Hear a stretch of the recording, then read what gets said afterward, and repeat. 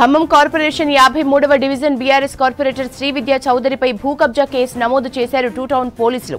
Khammam bypass road survey number తొంభై రెండులో నాలుగు వందల పదిహేను గజాల విలువైన భూమిని శ్రీవిద్యా చౌదరి నకిలీ పత్రాల్ని సృష్టించి కబ్జాకు ప్రయత్నించారని పోలీసుల విచారణలో తేలింది. దీంతో IPC section four twenty four sixty seven four sixty eight four seventy one case కింద కేసు నమోదు చేశారు పోలీసులు. పన్నెండవ division BRS corporator Chirumamilla Lakshmi భర్త చిరుమామిల్ల నాగేశ్వరరావు చౌదరిపై భూ కబ్జా ఆరోపణలు ఉన్నాయి. ఎన్ఎస్పీ భూమిని తప్పుడు పత్రాలతో కబ్జా చేసినట్లు కాంగ్రెస్ కార్పొరేటర్లు కలెక్టర్కి ఫిర్యాదు చేశారు. దీనిపైన జిల్లా కలెక్టర్ విపి గౌతమ్ విచారణకు ఆదేశించినట్లు తెలుస్తోంది.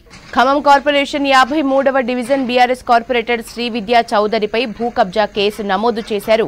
టూ టౌన్ పోలీసులు Khammam bypass road survey number తొంభై రెండులో నాలుగు వందల పదిహేను గజాల విలువైన భూమిని శ్రీవిద్యా చౌదరి నకిలీ పత్రాల్ని సృష్టించి కబ్జాకు ప్రయత్నించారని పోలీసుల విచారణలో తేలింది దీంతో. IPC section four twenty four sixty seven four sixty eight four seventy one కింద కేసు నమోదు చేశారు పోలీసులు. పన్నెండవ division BRS corporator Chirumamilla Lakshmi భర్త చిరుమామిల్ల నాగేశ్వరరావుపై భూ కబ్జా ఆరోపణలున్నాయి. ఎన్ఎస్పీ భూమిని తప్పుడు పత్రాలతో కబ్జా చేసినట్లు కాంగ్రెస్ కార్పొరేటర్లు కలెక్టర్కి ఫిర్యాదు చేశారు. దీనిపైన జిల్లా కలెక్టర్ విపి గౌతమ్ విచారణకు ఆదేశించినట్లు తెలుస్తోంది. డీటెయిల్స్ ఖదీర్ అందిస్తారు. ఖదీర్ కార్పొరేటర్పై కేసు నమోదుకు సంబంధించిన డీటెయిల్స్ ఏంటి? యశోద బీఆర్ఎస్ పార్టీ ఎప్పుడైతే అధికారాన్ని చేపట్టిందో ఆనాటి నుంచి కూడా భూ కబ్జాలకు పాల్పడుతుందని చెప్పడానికి సజీవ సాక్ష్యాలు ఖమ్మంలో వెలుగు చూస్తా ఉన్నాయి. హైదరాబాద్ తర్వాత ఖమ్మంలో అత్యంత విలువైన భూములు ఉన్నాయి. దాదాపు ఒక గజం వచ్చేసి ఆ మార్కెట్ వాల్యూ ప్రకారం చూస్తే ఒక్కొక్క చోట లక్ష నుంచి రెండు లక్షలు ఉంది. బైపాస్ రోడ్డులో ఏదైతే భూమి ఉందో సర్వే నెంబర్ తొంభై రెండులో నాలుగు వందల పదిహేను గజాలకు సంబంధించిన భూమిని కబ్జా చేసేందుకు వీళ్ళు యత్నించారు. ఆ పత్రాలు ఏ విధంగా సృష్టించారంటే అక్కడ ఒక రామాలయం ఉంటది. రామాలయంలో ఒక వంట షెడ్ ఉంటది. ఆ వంట షెడ్కి ఏదైతే వాళ్ళు ఆ మున్సిపాలిటీకి పన్ను కడుతున్నారో ఆ వంట షెడ్కు సంబంధించిన ఇంటి ముందు శ్రీ విద్య కార్పొరేటర్ ఫోటో దిగి అలాంటి పత్రాలన్నింటిని కూడా సమర్పించింది. శ్రీ విద్య భర్త బీఆర్ఎస్ పార్టీ టౌన్ ప్రెసిడెంట్గా ఉన్నాడు. బీఆర్ఎస్ పార్టీ టౌన్ ప్రెసిడెంట్గా ఉన్న పగడాల నాగరాజుకు సంబంధి నాగరాజు భార్య శ్రీవిద్య. అయితే వీళ్ళు పగడాల నాగరాజు చిరుమామిళ్ళ నాగేశ్వరరావు కాదు. బీఆర్ఎస్ పార్టీకి సంబంధించిన అనేక మంది కార్పొరేటర్లు ఇలాంటి భూ కబ్జాలకు పాల్పడ్డారు. ఫిఫ్టీ నైన్ జీవోలో ఫిఫ్టీ ఎయిట్ జీవోని ఎవరైనా వాడుకున్నారు అంటే సామాన్య ప్రజలు కాకుండా అది కేవలం బీఆర్ఎస్ పార్టీ నాయకులు అని చెప్పేసి కాంగ్రెస్ పార్టీ ఆరోపిస్తా ఉంది. ఈ రోజు కాంగ్రెస్ పార్టీ శ్రేణులందరూ కూడా బీఆర్ఎస్ భూ కబ్జాలపైన విజిట్ కార్యక్రమాన్ని కూడా ఏర్పాటు చేసింది. ఎక్కడైతే భూ కబ్జాలకు పాల్పడ్డారో ఆ బీఆర్ఎస్ పార్టీ నాయకులు వారికి సంబంధించిన అనుచరులు వాళ్ళు ఎక్కడెక్కడ కబ్జాలు చేశారో కబ్జాలకు సంబంధించిన ప్రదేశాలన్నింటినీ కూడా సందర్శించి వీటిపైన తగు చర్యలు తీసుకోవాలని చెప్పేసి ఆ కాంగ్రెస్ శ్రేణులు డిమాండ్ చేస్తా ఉన్నారు. ఇప్పుడు ప్రస్తుతం ఆ టూ టౌన్ పోలీసులు కేసు నమోదు చేశారు. ఏదైతే four sixty seven case section ఉందో ఆ సెక్షన్ సంబంధించి ఏంటంటే ఖచ్చితంగా ఇది నాన్ బేలబుల్ సెక్షన్ కిందికి వస్తుందని చెప్పేసి పోలీసులు చెప్తా ఉన్నారు. అయితే అనేక మంది కార్పొరేటర్ల పైన కూడా చర్యలు తీసుకోవాలి. చర్యలు తీసుకోవడం భాగంగానే ఎవరైతే first fifty nine fifty eight regularise చేయడం కోసం ఎంక్వైరీ ఆఫీసర్గా ఉన్నారో ఆ ఎంక్వైరీ ఆఫీసర్ల పైన కూడా చర్యలు తీసుకోవాలి. వాళ్ళు ఏ విధంగా ఎంక్వైరీ చేశారు ఎంక్వైరీ చేయడానికి గల కారణాలు ఏంటి వాళ్ళు ఏమైనా డబ్బులు తీసుకొని ఇట్లా ఎంక్వైరీ ఎంక్వైరీ చేసి తప్పుడు రిపోర్ట్లు ఇచ్చారనే దానిపైన కూడా అనేక అనుమానాలు వ్యక్తం అవుతా ఉన్నాయి.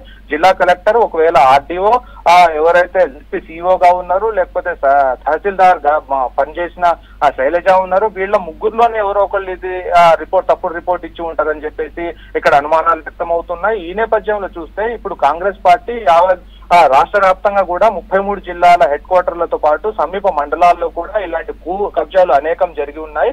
కాబట్టి దీనిపైన సిట్టు విచారణ జరపాలని చెప్పేసి కూడా కాంగ్రెస్ పార్టీ శ్రేణులు డిమాండ్ చేస్తా ఉన్నారు. సిట్టు విచారణ అంటే ఒక ఐపీఎస్ అధికారిని పెట్టి ఎన్ఎస్పీ అధికారిని పెట్టి రెవెన్యూ అధికారిని పెట్టి ఒక సిట్టి విచారణ జరిపి ముందుగానే ప్రభుత్వం ఒక కేవేట్ వేసి ఉంచినట్లయితే వీళ్ళు కోర్టుకు కూడా వెళ్ళే అవకాశం ఉండదు. దీంట్లో సెక్షన్ ఫోర్ నాట్ నైన్ అదేవిధంగా ఫోర్ సిక్స్టీ సెవెన్ పెట్టినట్లయితే వీళ్ళకు నాన్ బెయిలబుల్ అప్లికబుల్ అవుతాయి. దీనికి విచారణలో భాగంగా ఎవరైతే అధికారులు ఉన్నారో వాళ్ళు కూడా ఇన్వాల్వ్మెంట్ అయితే వాళ్ళు కూడా జైలుకు వెళ్ళే అవకాశం ఉంది కాబట్టి కాంగ్రెస్ పార్టీ శ్రేణులు ప్రధానంగా డిమాండ్ చేసేది ఏంటంటే ప్రభుత్వ ఆస్తుల ఆస్తులను ధ్వంసం చేసి నిర్వీర్యం చేసి ప్రభుత్వ అన్ని ప్రదేశాలన్నింటినీ కూడా కబ్జాకు యత్నించిన బీఆర్ఎస్ నాయకుల పైన కార్పొరేటర్ల పైన అనేక మంది మాజీ మంత్రుల పైన కూడా ఇలాంటి అన్ని ఈ కేసులు నమోదు చేయాలని చెప్పేసి వాళ్ళు ప్రధానంగా డిమాండ్ చేస్తున్న పరిస్థితి ఉంది. పేదలు అడిగితే ఫిఫ్టీ ఎయిట్ కింద ఫిఫ్టీ నైన్ కింద ఎవరికి కూడా ఒక గజం జాగా లేదు అని చెప్పి చెప్పి వాళ్ళకు టవర్లు కట్టిస్తామని డబుల్ బెడ్రూమ్ ప్రభుత్వం వాళ్ళకి ఎక్కడ స్థలాలు కేటాయించలేదు కేవలం మాకు స్థలాలు ఇస్తే మేము ఇల్లు కట్టుకుంటామని పదే పదే విన్నవించుకున్నా అనేక సార్లు డిమాండ్ చేసినా కానీ ఎక్కడ కూడా వాళ్ళు ప్రభుత్వం వాళ్ళు ప్లేస్ ఇవ్వడానికి ముందుకు రాలేదు. కానీ వీళ్ళు బీఆర్ఎస్ పార్టీ నాయకులు ఎవరెవరైతే ఉన్నారో వాళ్ళందరికీ ఇట్లా కబ్జాలు చేసుకోవడం కోసం అనధికార అనుమతులు ఇచ్చిందా అని చెప్పేసి అనుమానాలు కూడా వ్యక్తమవుతున్నట్టుగా ఈ రోజు కాంగ్రెస్ శ్రేణులు ఆరోపిస్తున్న పరిస్థితి ఏదేమైనా కానీ ఆ రాష్ట్ర వ్యాప్తంగా అదేవిధంగా జిల్లా వ్యాప్తంగా సిట్ విచారణ జరిగినట్లయితే ఖచ్చితంగా అనేక మంది మాజీ మంత్రి మంత్రులతో పాటు మాజీ ఎమ్మెల్యేలతో పాటు అనేక మంది బీఆర్ఎస్ కార్పొరేటర్లతో పాటు వీళ్ళందరూ కూడా జైలుకు వెళ్ళే అవకాశం ఉందని చెప్పేసి బీఆర్ఎస్ పార్టీ కాంగ్రెస్ పార్టీ భావిస్తా ఉంది. అయితే ప్రస్తుతం చూస్తే ఇప్పుడు ఎవరైతే కార్పొరేటర్ శ్రీవిద్య పైన కేసు నమోదైందో ఆ కార్పొరేటర్ని మున్సిపల్ చట్టాల ప్రకారం ఆమె కార్పొరేటర్ కూడా కార్పొరేటర్గా కూడా అనర్హురాలు అని చెప్పేసి ఇక్కడ ఉన్న ఆ కాంగ్రెస్ పార్టీ శ్రేణులు చెప్తా ఉన్నారు. అయితే దీనిపైన పూర్తి విచారణ ఇంకా జరగాలని చెప్పేసి అనేక మందిని బయటికి లాగాలని చెప్పేసి వీళ్ళు డిమాండ్ చేస్తున్న పరిస్థితి ఉంది. యశోద.